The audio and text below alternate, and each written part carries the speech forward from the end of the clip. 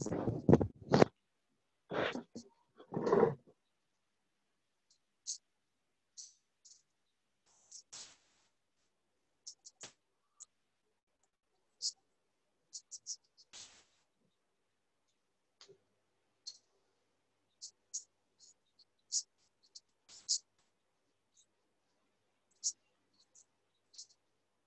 לא שומע אותך, יוהן.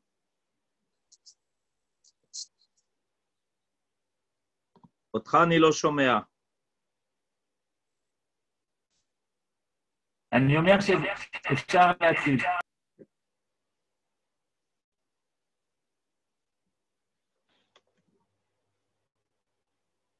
שלום, ערב טוב. יופי, אני מתחיל. ערב טוב. Ce soir, euh, chers amis, nous allons euh, avoir un cours qui va nous parler de la mitzvah de Aseva. La mitzvah de Aseva et la mitzvah de Sakoudé. C'est une mitzvah est une mitzvah obligatoire, elle n'est pas facultative. Le fait de devoir s'accouder pendant le seder est une mitzvah qui est obligatoire et dans euh, certains cas, si on n'a pas accompli la mitzvah de s'accouder, on va devoir recommencer la mitzvah parce qu'on l'a faite sans s'accouder. Alors, dans un premier temps, je vais parler un peu des mitzvah. Euh, à quel moment doit-on s'accouder? Pour quelle mitzvah doit-on s'accouder? Et dans un deuxième temps, je vais essayer de euh, donner une explication euh, qui va nous permettre de comprendre peut-être un peu plus profondément la raison. Alors, premièrement, cette mitzvah est une mitzvah qui concerne quatre fois ce que l'on a à boire et quatre fois ce que l'on a à manger. Je m'explique. La mitzvah de Haseva qui consiste à s'accouder, à s'accouder sur le côté gauche, donc on s'accoude sur le côté gauche, non pas sur le côté droit. Faites attention, c'est très important. Il faut s'accouder sur le côté gauche pour pouvoir se servir de sa main droite et de les quatre coupes de vin qu'on doit consommer ce soir-là. Ce soir-là, on a quatre coupes de vin à consommer, à boire. Chaque fois que l'on a à boire dans le cadre du CEDER une de ces quatre coupes de vin, on doit s'accouder. Je répète, sur le côté gauche. Donc, on arrive donc quatre fois à propos de la boisson. Ensuite, on devra s'accouder pour manger quatre kazaïs, c'est-à-dire pour manger de la matzah, soit de la grosseur d'un kazaït, c'est-à-dire de la grosseur de ce qui à l'époque des sages était considéré comme la grosseur d'une olive. À propos de quand et à propos de quoi? Alors c'est ce que je vais maintenant préciser on doit s'accouder quand on va faire motzi matzah. Motzi matzah. Ça veut dire que quand tu arrives après la lecture de la Haggadah, après que l'on ait fait la bracha birkat geoula dont on a parlé, après que l'on ait bu la deuxième coupe de vin, il y a marqué Rachza. Rachza, c'est Netilat Yadayim. On va faire Netilat Yadayim parce que maintenant, on va manger du pain. Quel est le pain de cette soirée? Le pain de cette soirée est la matzah. Alors, on prend les trois matzot que l'on a sur le dessus du plateau. Ces trois matzot, c'est en fait une entière en haut, une entière en bas, une demi au milieu. Parce qu'au début du Seder, on l'a coupé en deux. Alors, on va faire la bracha sur matzot ensemble. Ensuite, on pose la matzah d'en bas et on fait Asher Kideshanu Bemizvota Vesivanu à la pilat matzah. Et à ce moment-là, on doit manger deux kazaït. Deux kazaït veut dire que l'on doit manger, en fait, deux fois une demi-matzah pour ceux qui le, pour ceux qui le peuvent. C'est une demi-matzah de la matzah d'en haut et la demi-matzah qui est restée au milieu. Si ça ne suffit pas, parce qu'on a distribué aux autres, on va compléter chacun de la matzah qui est à notre disposition, qui est de la matzah shmura. Quand on va manger cette quantité de matzah obligatoire, on doit s'accouder. La deuxième fois où on devra s'accouder, c'est pour manger le korer. C'est quoi le korer?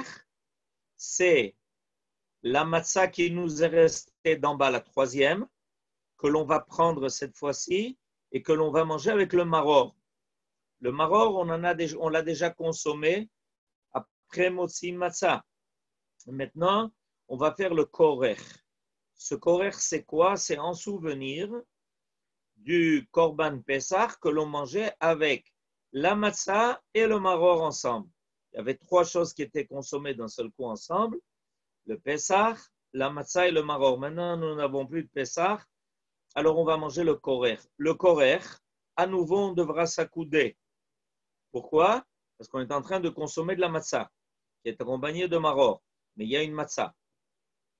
La troisième fois où on va à nouveau consommer en s'accoudant de la matzah, c'est à propos de la mitzvah de Afikoman, qui va se consommer juste avant le Birkat Amazon. Alors, si je résume, on a mangé quatre fois kazaït, quatre fois de la, la matzah de la grosseur d'une olive, deux fois motzi matzah, une fois korer et une fois fikoman. Donc, il y a quatre verres de vin qui ont été consommés en s'accoudant et quatre kazaït de matzah qui ont été consommés, motzi matzah, deux kazaït, korer, un kazaït, afikoman, un kazaït. En tout, quatre fois kazaït. Ça nous amène à quatre kazaït. Donc, quatre verres de vin, quatre kazaït de matzah consommés en s'accoudant. L'essentiel, c'est de s'accouder au moment de motzi matzah, pour manger kazaït matzah au moins. Alors, le, le, le compte est donc facile à faire. À chaque fois que l'on va boire une des quatre coupes de vin obligatoires de cette soirée-là, et à chaque fois que l'on va manger, manger un des quatre kazaït de la matzah, on s'accoude. On s'accoude, ça s'appelle haseva. Haseva, ça veut dire manger en étant accoudé. En étant, à l'époque de nos sages, ils étaient à demi allongés. Pourquoi? Parce qu'ils étaient allongés sur des lits et qu'ils avaient devant eux des tables basses. C'était, c'est comme la façon orientale de manger, de se mettre à l'aise pour pouvoir manger comme ils le faisaient dans le temps. Et euh, on va maintenant essayer de comprendre pourquoi cette mitzvah est tellement importante, pourquoi précisément le soir du Seder c'est tellement important que nos sages nous disent que si nous avons la possibilité de prendre tout le repas, de faire tous les Seder en étant accoudés, ce n'est pas obligatoire, mais c'est l'idéal. Ce n'est pas obligatoire, mais c'est quand même idéal. Qui se passe Pourquoi ça réclamait de nous euh, précisément cette soirée-là? Euh, Et c'est une des mitzvot les plus euh, réputées que on, va, on doit préparer. Comment on doit préparer? On doit préparer en trouvant à l'avance le moyen de pouvoir s'accouder sur le côté gauche. Je rappelle, même pour les gens qui sont gauchers, c'est très particulier ça, même pour les gens qui sont gauchers, ils doivent s'accouder sur le côté gauche.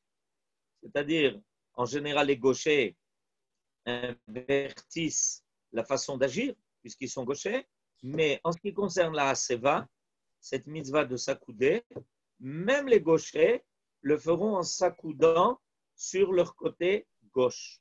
Ce qui est quand même important à retenir.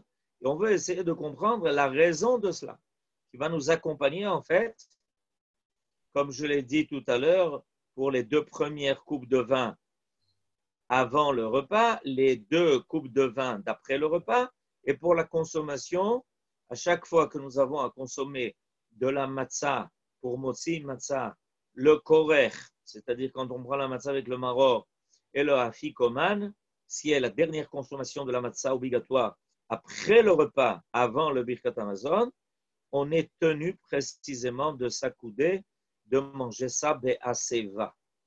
Et si on arrive à le faire encore plus longtemps pendant toute la soirée, si ça nous met à l'aise et que c'est facile pour nous, alors autant le faire. Alors je vais essayer maintenant de rentrer un peu dans cette, euh, le contenu de cette mitzvah, le contenu de cette conduite, et on va commencer par la première Mishnah, la première Mishnah du dixième chapitre de traité de Psachim. Cette, euh, euh, ce pérec-là, ce chapitre-là, qui se trouve à la fin du traité de Psachim, parle de toutes les lois du Seder.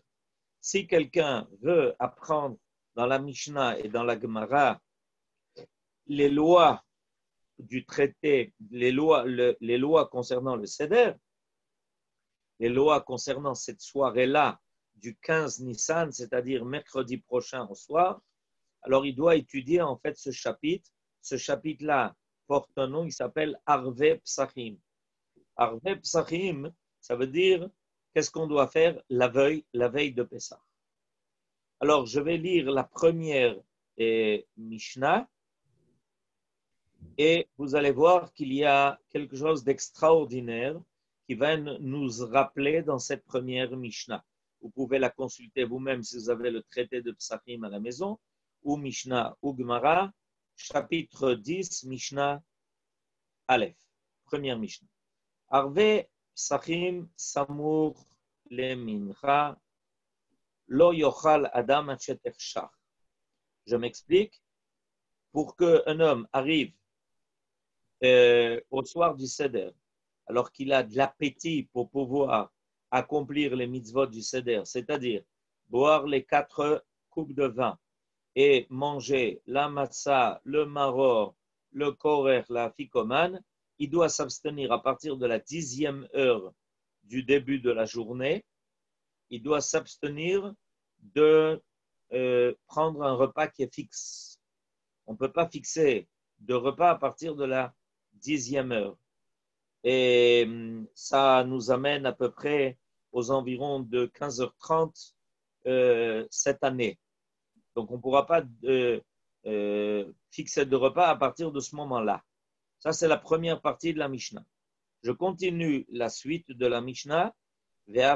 ani Israël, lo yochal Je traduis traduction littérale. Et même un pauvre en Israël ne pourra pas manger, c'est-à-dire le soir du Seder, la matzah et tout ce qu'il a à faire. La matzah, c'est une mitzvah de la Torah.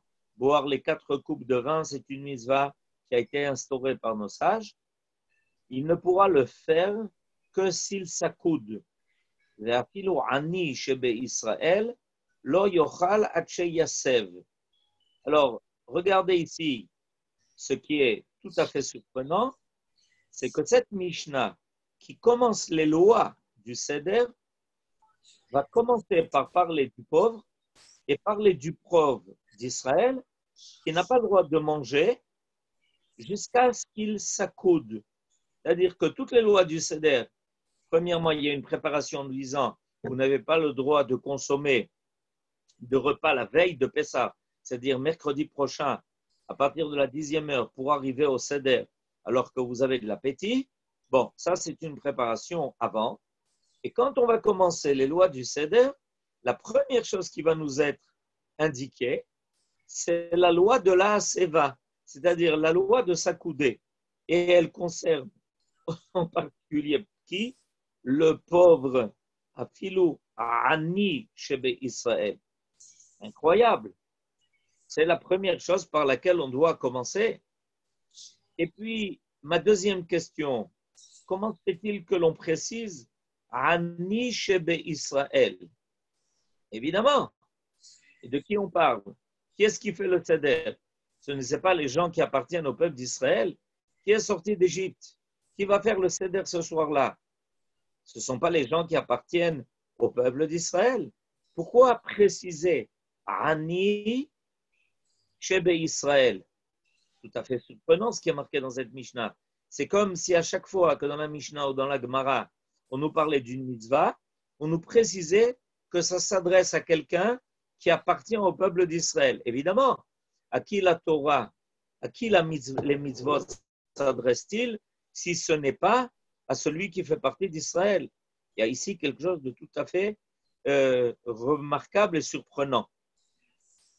Alors, euh, là, précisément à ce moment-là que les sages commencent à nous révéler le secret de la Seva.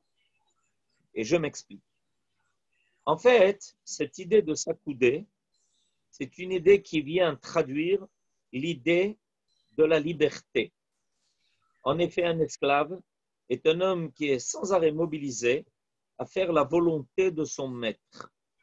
Il n'a pas de véritable repos. Je m'explique. Même lorsque l'esclave se repose, c'est pour pouvoir mieux travailler. En fait, son repos est une partie de son travail. Il n'y a pas d'arrêt de travail chez l'esclave. Son corps appartient à son maître. Donc, dès que son maître a besoin de lui, il doit tout de suite se mettre au travail. Et si son maître lui accorde un repos, c'est pour qu'il ait la force de travailler. Cette idée du repos est une idée de repos qui n'est pas authentique. Ce n'est pas la menoucha en soi. La menoucha en soi, c'est pas se reposer pour travailler. Ça, ça s'appelle le jour du repos. Le jour du repos, c'est qu'on vous donne une fois par semaine un jour d'arrêt de travail pour travailler. Donc en fait, même le repos fait partie du travail. Si on donne du repos, c'est pas parce qu'on permet à la personne de pouvoir avoir un autre type de vie, une autre dimension d'existence, c'est parce qu'on a besoin qu'il renouvelle ses forces en vue du travail. Donc le repos est une partie de son travail. Le Shabbat, par exemple, n'est pas un jour de repos en vue des six jours de travail. Le, le Shabbat est une dimension qui est au-delà des jours travail. On a six jours de travail, c'est-à-dire qu'on est six jours dans le monde où on est là, Asher bara Elohim la asot, pour compléter la création. Mais une fois par semaine, on quitte cette condition, on s'élève au-dessus du temps du travail pour toucher le temps de l'éternité pour le toucher, le temps d'un monde qui n'est plus à compléter. Le Shabbat est un monde qui est déjà entier, complet. Yom Shekulo Tov, Yom Shekulo Aroch. Ce n'est pas un monde à compléter.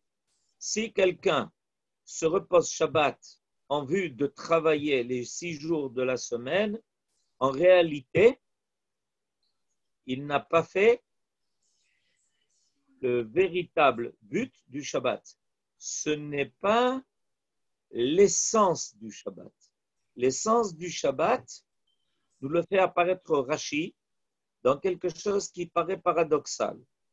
En effet, dans la paracha de Vayuchulu que nous allons dire demain soir, demain soir, comme on le sait, dans les prières de Shabbat, on va dire parachat Vayuchulu.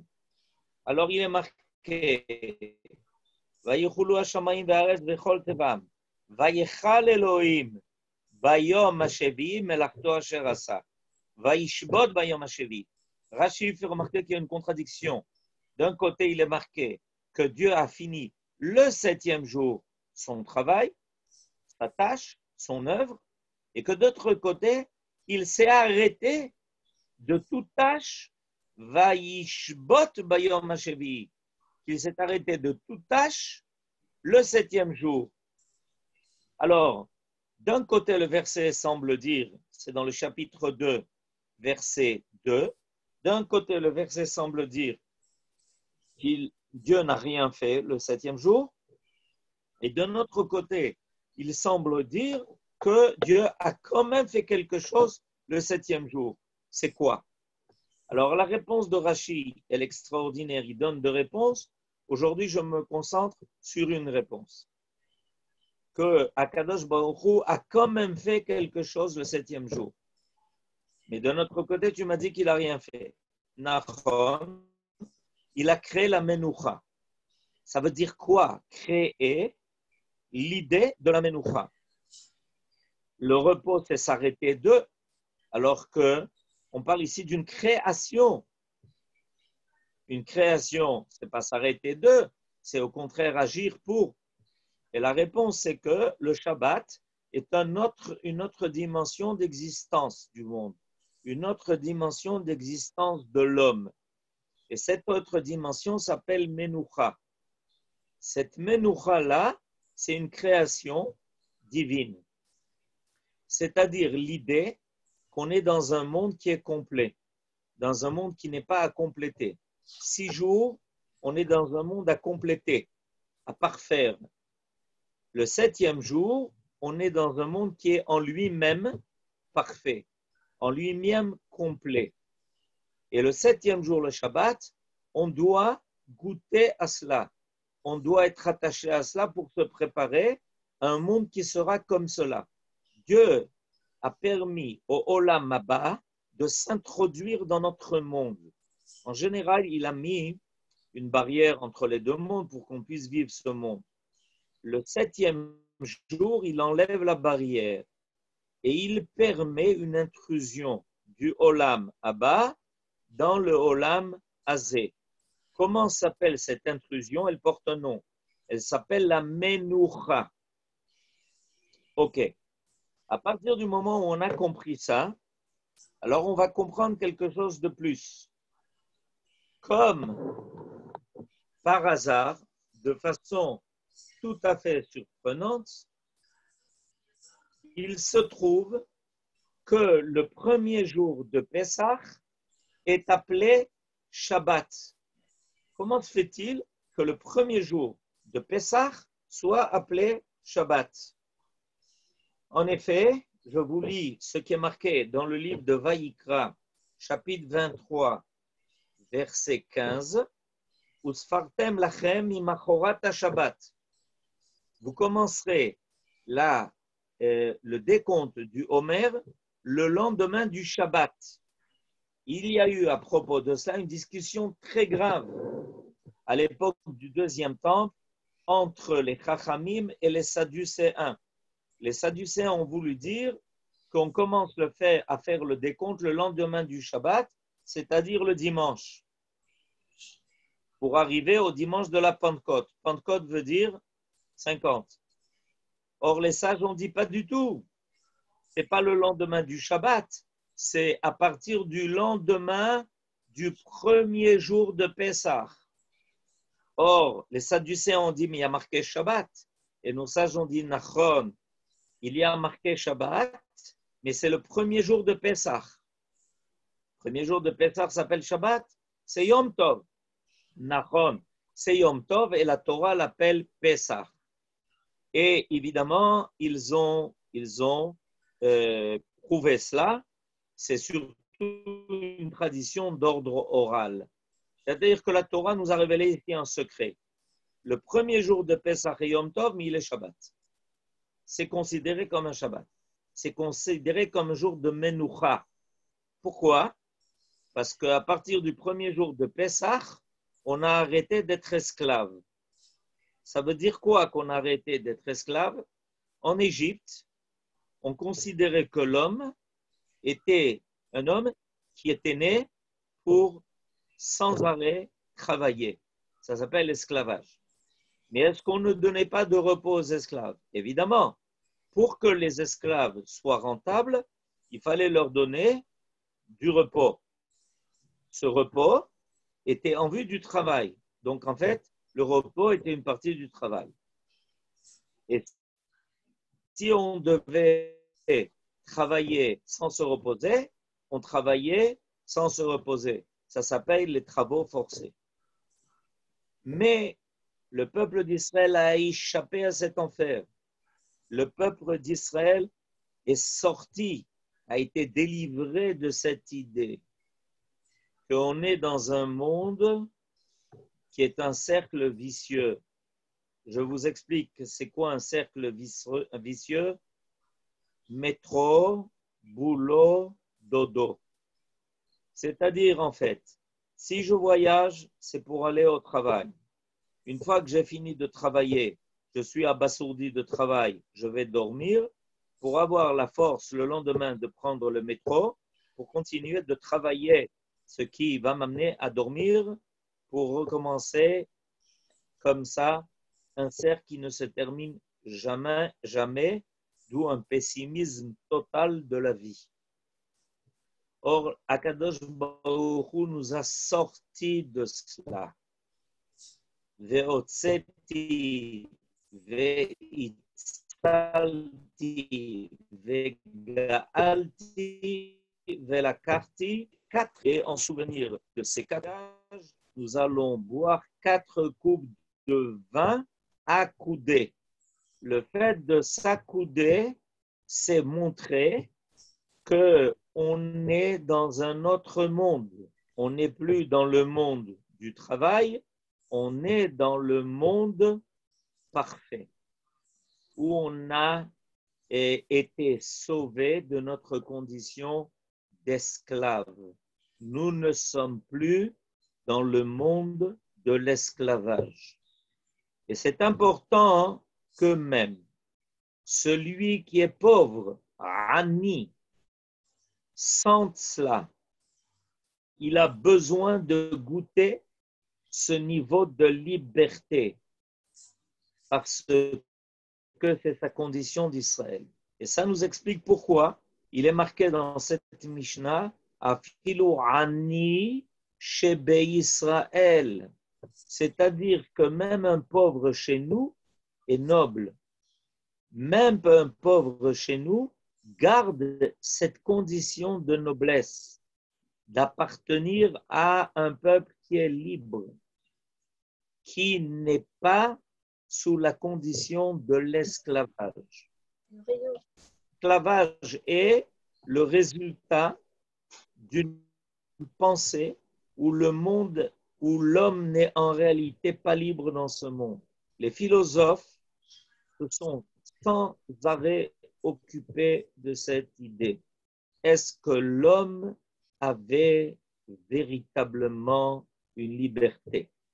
La, la conclusion de la philosophie en général est que l'homme n'a aucune liberté. Et même là où il se croit libre, il n'est pas libre. Cette euh, idée générale a amené à une civilisation qui s'appelle la civilisation gréco-romaine, où en fait l'homme n'a véritablement jamais aucune liberté. Et ça va très loin parce que dire que l'homme n'est jamais libre, ça veut dire qu'il est toujours conditionné. Soit il est conditionné par les lois de la nature, soit il est conditionné par les lois de son être, soit il est conditionné par les lois des autres, soit il est conditionné par les lois de la société, soit il est conditionné par les lois de l'État, D'où ceux qui ont voulu évidemment arriver à l'anarchie pour se libérer des lois qui rendaient l'homme esclave. Le peuple d'Israël, lui, a connu une autre dimension d'existence et de vie. Cette autre dimension d'existence et de vie s'appelle Kherut. Or, on doit obligatoirement exprimer le soir de Pessah cette idée que l'on a échappé à cette condition d'être. Cette condition d'être qui tient en étau l'humanité depuis longtemps, depuis les premières générations jusqu'à nos jours, jusqu'au moment où je suis en train de vous parler. À ce, en ce moment, l'humanité est en train de, devoir faire un compte, un décompte de sa condition de vie. Parce que euh, ce qui euh, Kadosh est en train de faire, c'est qu'il est en train d'immobiliser l'ensemble de l'activité humaine dans le monde entier. Cette immobilisation de l'activité dans le monde entier, c'est pour que l'homme prenne conscience qu'en réalité, il existe un autre monde. Et cet autre monde-là n'a pas besoin de cet esclavage permanent. Ce que on sait, c'est que dans le monde, euh, sous euh, d'autres formes, existe cet esclavage, il existe dans la pensée et il existe dans les faits. Et ceux qui euh, donnent des, lois du travail n'ont pas libéré l'homme de l'idée qu'il est quand même esclave de ses instincts, qu'il est esclave des lois qui régissent et son corps et son psychique, des lois de la sociologie, de la psychologie, de la sociologie, de toutes les lois possibles et imaginables. Or, la Torah veut nous dire que à partir du moment où l'homme est lié à Dieu et à son Créateur, il est libéré de cela. Il a la capacité de se libérer de ça. Et même si quelqu'un est pauvre, et peut-être parce qu'il est pauvre et qu'il n'est dépendant de rien et de personne, à ce moment-là, il peut goûter de façon très particulière quelque chose que personne d'autre ne peut goûter. C'est cette idée d'un monde où on n'est pas tenu, on n'est pas tenu de la volonté de l'autre.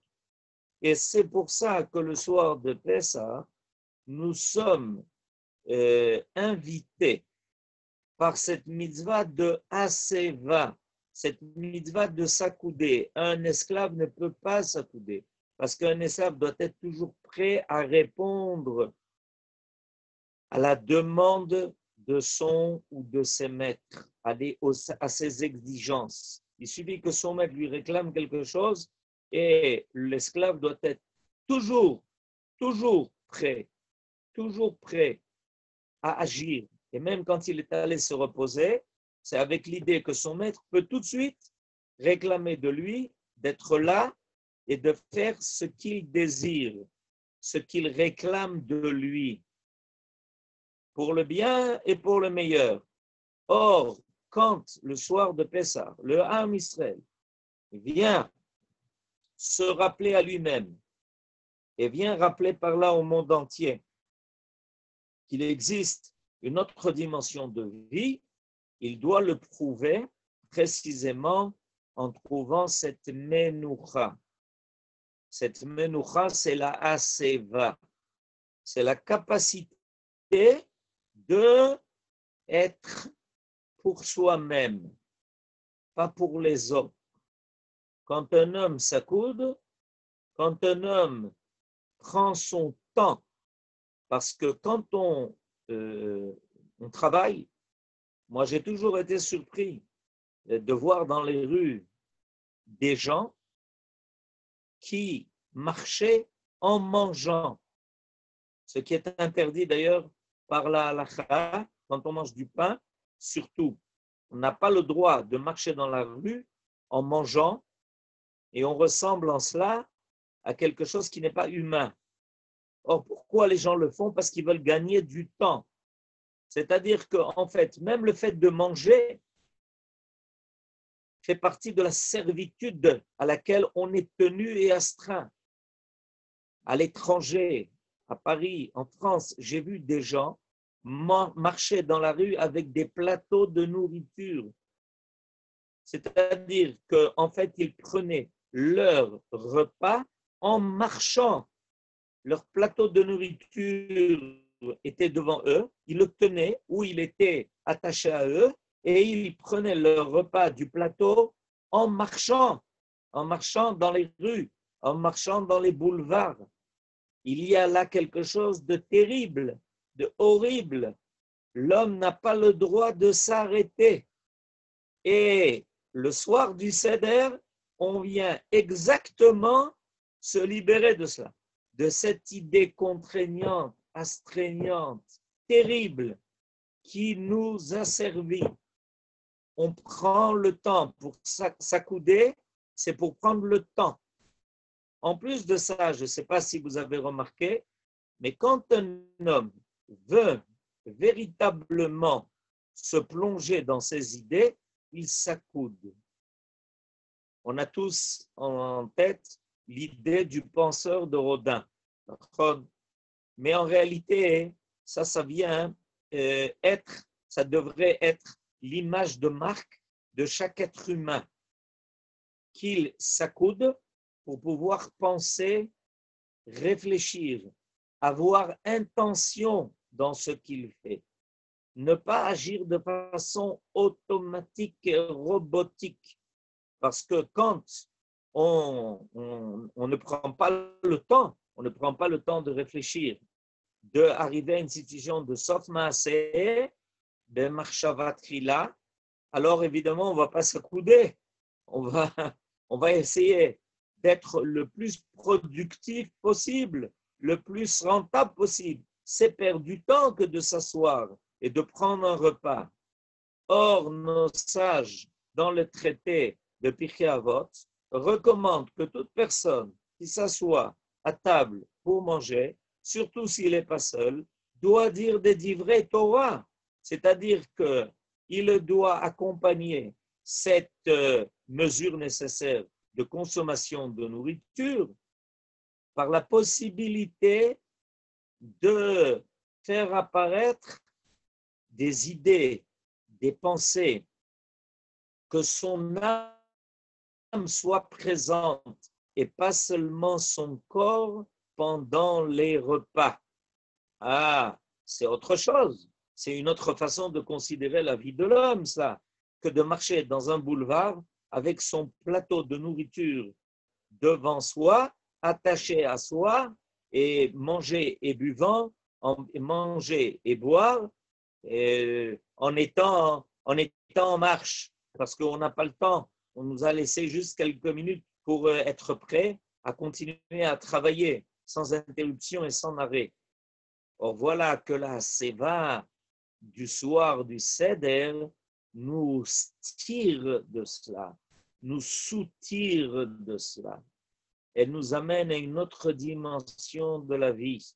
Et ça, ça concerne tout celui qui a compris l'idée, l'idée de la liberté, l'idée qui doit apparaître précisément dans le peuple d'Israël, dans le peuple d'Israël, chez chaque individu, du plus grand au plus petit. Personne dans le peuple d'Israël ne doit être esclave, surtout pas par sa pensée, par sa façon de comprendre le monde, par sa façon d'approcher la vie, même la plus quotidienne. Alors on comprend maintenant comment se fait-il que la Torah est appelée le premier jour de Pessah Shabbat. Parce qu'en réalité, c'est un Shabbat. C'est un Shabbat qui est le Shabbat de l'histoire du peuple d'Israël. Il y a le Shabbat de la création du monde. Ça, c'est rappelé dans le récit de la création. Mais il y a le Shabbat de la sortie d'Égypte. Il y a le, le Shabbat de la fin de l'esclavage. Et quand est-ce que ce Shabbat est survenu? Quand est-ce qu'il est apparu dans l'histoire de l'humanité avec la sortie du peuple d'Israël d'Égypte? À ce moment-là, le peuple d'Israël est en train de faire apparaître une idée. Il est en train de faire apparaître l'idée que l'esclavage, c'est en réalité baisser la condition humaine à son plus bas niveau. Et que le peuple d'Israël est sur terre parce qu'il a reçu un rôle. Et que par sa propre expérience de vie, par sa propre expérience d'histoire, il est capable de prouver que l'on peut sortir de cet esclavage-là. Et quand est-ce qu'il va le montrer? Euh, À quel moment ça va apparaître de la façon la plus évidente et la plus flagrante? Quand le soir du Seder, il va s'accouder. Donc cette idée de s'accouder pour boire et manger le soir du Seder, c'est élever l'homme à une condition, à un niveau de chérout. Chérout, c'est quoi? C'est que en réalité, la fin ne justifie pas les moyens. Je m'explique. Si on donne du repos à l'esclave, c'est en réalité pas une fin, mais un moyen pour qu'il puisse mieux travailler, plus travailler, être plus rentable.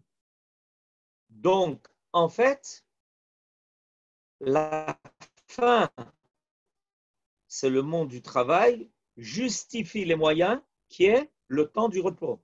Or, la Torah nous fait découvrir qu'il y a un monde où tout a un but en soi.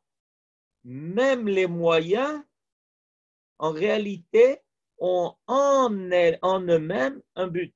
On ne se repose pas en vue de travailler, on se repose parce que avec le repos du corps, on peut dégager l'activité de l'esprit. Et c'est pour ça qu'on a l'habitude, quand on réfléchit et quand on se plonge dans une idée, de trouver une, une façon de repos.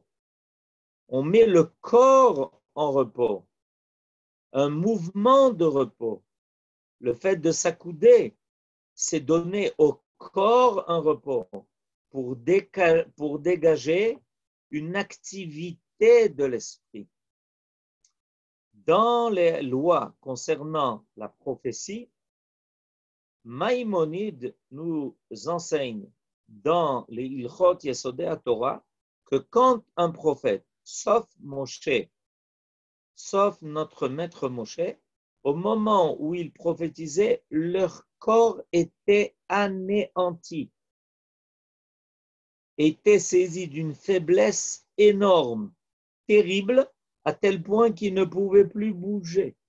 Et à ce moment-là arrivait l'état prophétique. Ils étaient en prophétie. Précisément, ça passait par cette euh, phase-là où le corps était en repos total. Il ne pouvait à ce moment-là avoir aucune activité. Et alors se dégager en eux l'état prophétique pouvait apparaître la parole de Dieu. Ça, c'est ce qui nous est arrivé quand on est sorti d'Égypte. Quand on est sorti d'Égypte, on a été libéré du joug égyptien. On est rentré dans une phase de repos.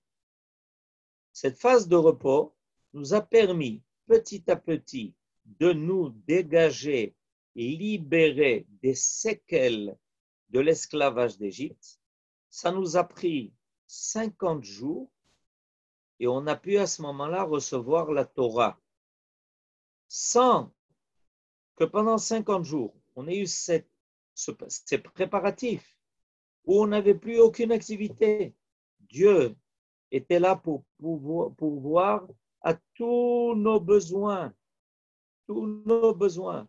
Il nous donnait à manger, la manne, il nous donnait à boire. Nous n'avions plus aucun besoin. Donc, en fait, nous étions libérés de toute activité. Qu'est-ce que Dieu a voulu par là?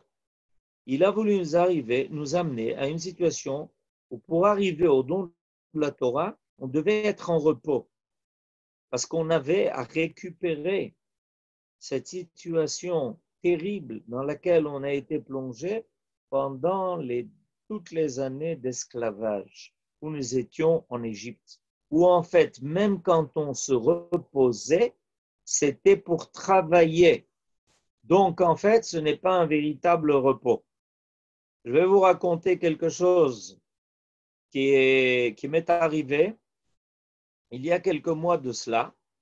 J'ai rencontré euh, alors qu'on était en séjour en Israël, euh, dans un lieu où les gens venaient se reposer, j'ai rencontré là-bas un juif qui était venu passer quelques jours de vacances en Israël. Et alors, euh, il m'a dit qu'il restait là en Israël, qu'il allait passer quelques jours pour se reposer. Alors, on a un peu parlé ensemble et je lui ai demandé si c'était les seules vacances qu'il prenait. Il me dit non, évidemment non. Je prends des vacances aussi en hiver et je vais au ski. Je vais euh, me reposer. J'ai des vacances d'hiver et j'ai la montagne qui est pas loin de là où j'habite, où je travaille. Je vais au, ski. Et alors il m'a dit, mais je vais vous dire quelque chose. Il s'agit d'un ingénieur qui toute l'année travaille beaucoup. Il m'a dit, il faut que je vous dise quelque chose. Quand je vais en vacances et que je vais faire du ski, et des fois je prends trois semaines d'affilée de vacances pour pouvoir me remettre de tout mon travail, quand je reviens après trois semaines d'arrêt de vacances à la montagne de ski, en moins d'un jour, je n'ai plus le sentiment de m'être reposé. J'ai passé trois semaines sans rien faire au ski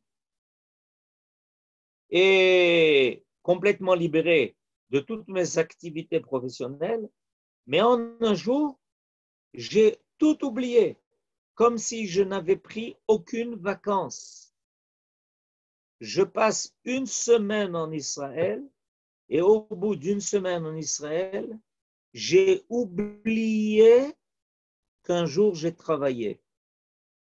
Le contraire exactement. Quand je passe une semaine en Israël de vacances, j'ai l'impression de ne plus être dans le même monde. C'est comme si je n'avais jamais travaillé auparavant. Et il m'a dit, c'est tout à fait surprenant. J'ai déjà plusieurs fois fait l'expérience de cela et je me suis toujours posé la question, comment se fait-il que je puisse passer tellement de jours de vacances? Et avoir le sentiment d'avoir tout de suite oublié ces vacances pour tout de suite être replongé dans le travail, alors que je passe une semaine de vacances en Israël et comme c'est comme si je n'avais jamais travaillé. Et la réponse, elle est là, elle est dans le secret dont on est en train de parler. Quand un juif qui se trouve en dehors d'Israël, donc en dehors de cette dimension divine de la réalité de son être, surtout parce qu'il est déconnecté de la collectivité d'Israël et de la dimension divine de la terre d'Israël. Il en est éloigné. En réalité, ses vacances, c'est une partie de son travail. C'est-à-dire que quand il arrête de travailler, c'est pour pouvoir retourner au travail. Tu prends des vacances en vue du travail. En Eretz Israël, tu arrives dans le monde qui est le monde de la Menoucha. Tu arrives dans le monde qui est le monde divin. Ce n'est plus un monde à parfaire. Et c'est la même dimension que l'on peut sentir dans le temps au niveau du Shabbat. Eretz Israël, c'est au niveau de l'espace. Le Shabbat, c'est au niveau du temps. C'est pour ça que si on a un peu de repos en dehors d'Israël, c'est précisément le jour du Shabbat. Quelqu'un m'a demandé, il y a très peu de temps, ce matin, comment se fait-il que nous, à l'étranger, on a encore besoin de deux jours de Yom Tov? Ben, C'est pour précisément arriver à se déconnecter d'une situation on ne peut pas facilement goûter quand on est en dehors d'Israël. Cette année, par exemple, les Juifs en dehors d'Israël devront faire trois jours d'affilée. Jeudi, vendredi, Shabbat. Jeudi, premier jour de Pessah, vendredi, deuxième jour de Pessah, Shabbat, troisième jour d'affilée. Seulement à partir de là, ils pourront commencer à goûter un peu la dimension du repos, la dimension de la liberté. Malheureusement, ce ne sera pas très facile dans les conditions où on se trouve actuellement, où ils se trouvent eux surtout. On prie pour qu'ils puissent rapidement se libérer de cette condition tellement terrible. Mais toujours est-il, exactement, vous aurez trois jours de Menoucha, exactement, trois jours pour pouvoir goûter un peu, un peu ce côté de la liberté.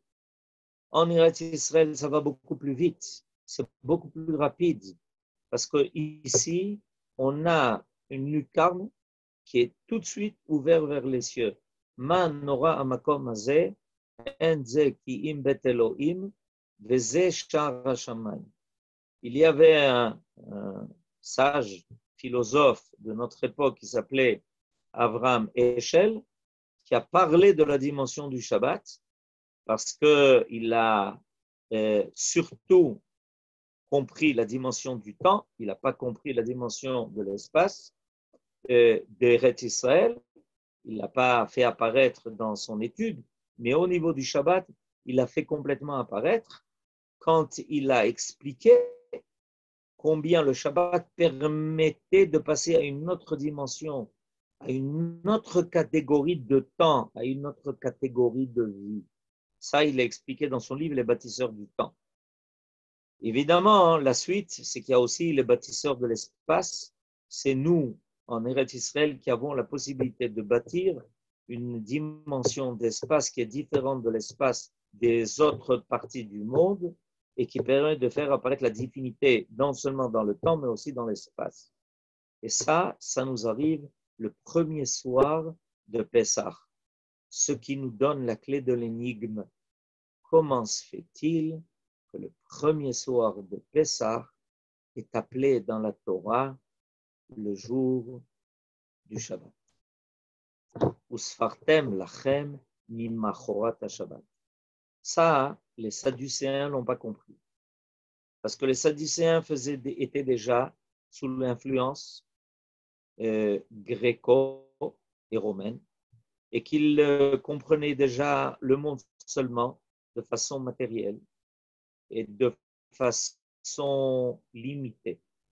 Nous, Israël, qui avons une Torah qui est non seulement écrite, mais surtout orale, et qui nous permet de nous rattacher à la dimension divine du temps et de l'espace, nous comprenons très bien maintenant pourquoi le premier jour de Pessah est appelé aussi Shabbat. Il est surtout appelé Shabbat. Donc n'oublions pas, le soir du Seder, quand nous allons accomplir la mitzvah de Haseva, nous devons nous rappeler que cette mitzvah-là qui va accompagner et ce que nous allons boire, les quatre kosot, les quatre coupes de vin, et ce que nous allons manger, la matzah, c'est pour nous faire passer à une dimension de Khérout et nous libérer complètement de la dimension de Eved, d'esclave. Et maintenant, les événements que le monde passe sont destinés précisément à faire basculer le monde dans une autre dimension. Nous espérons que très rapidement l'homme finira par comprendre cela Et nous, Israël, avons ce rôle-là de le faire savoir et de le propager dans le monde entier. Je vous souhaite donc et Shabbat Shalom, puisqu'on est à la veille de Shabbat Agadol. Et je vous souhaite Pesach Kacher Vesameach pour. Euh, et à très bientôt. Shabbat Shalom, Toda Rabba. Euh, demain, il y a le cours de Parashat Shabbat Shalom.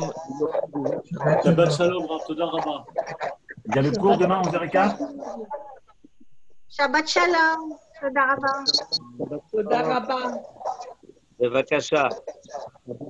Ah, vous donnez le cours demain à Zéricka Demain, cours à parachat de cette semaine, Parachat. יותר. תודה רבה, רב.